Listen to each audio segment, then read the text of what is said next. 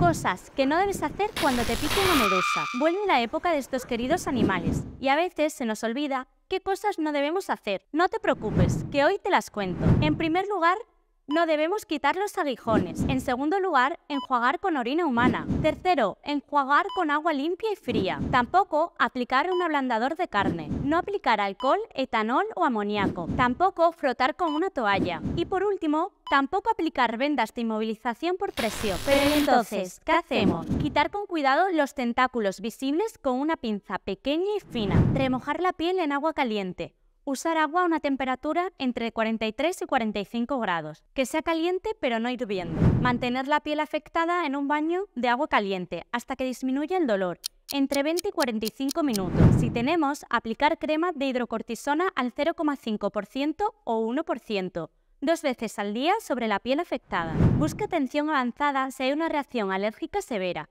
o si la picadura es de una especie peligrosa que requiere antídoto. Algunos síntomas como pérdida de la sensibilidad en la extremidad donde se ha sufrido la picadura, dificultad para respirar o experimentar palpitaciones tras el suceso nos pueden indicar que se trata de una reacción adversa severa. Así que, desde luego, que toca disfrutar de las vacaciones.